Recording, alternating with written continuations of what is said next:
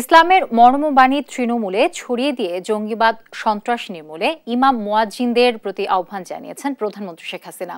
ইমাম সম্মেলনে এই আহ্বান জানান তিনি। মুষ্টিমেয় লোকের জন্য ইসলাম ধর্ম যেন কুলসিত না হয়, সেদিকে লক্ষ্য রাখারও আহ্বান জানান প্রধানমন্ত্রী।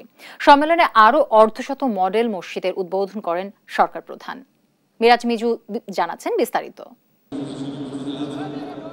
ইমামদের জ্ঞান ও দক্ষতা বৃদ্ধিতে প্রতি বছর প্রশিক্ষণ দেয় ইসলামিক ফাউন্ডেশন।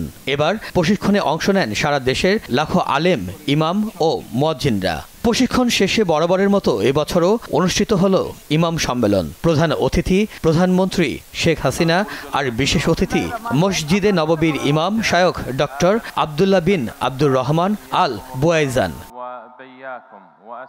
পূর্বাচলে বঙ্গবন্ধু, বাংলাদেশ, চীন মৈত্রী প্রদর্শনী কেন্দ্রের দুই ভেনুতে উপস্থিত ইমামদের সামনে স্বাগত বক্তব্য রেখে প্রধানমন্ত্রী হাজির হন মূল অনুষ্ঠানে। জাতীয় পর্যায়ে শ্রেষ্ঠ ইমাম ও বিশ্বজয়ী হাফেজদের হাতে পুরস্কার তুলে দেন সরকার প্রধান। ইসলামের প্রচার ও কল্যাণে সরকারের নেয়া নানা উন্নয়ন চিত্র তুলে ধরেন প্রধানমন্ত্রী।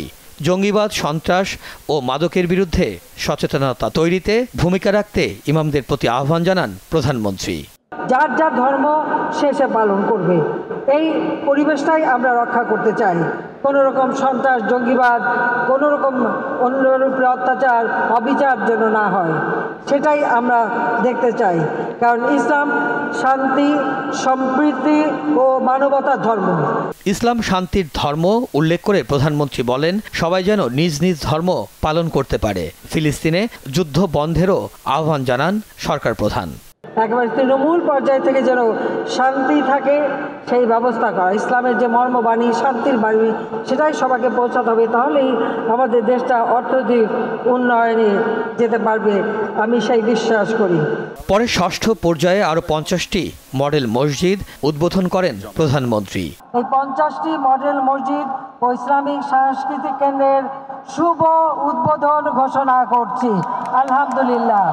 যেখানে রয়েছে প্রশিক্ষণ কেন্দ্র হেজখানা গবেষণা কেন্দ্র পাঠাগার হজ যাত্রীদের নিবন্ধন সহ হাজারো মুসল্লি নামাজের সুবিধা। মিরাজ মিজু দেশ টিভি ঢাকা।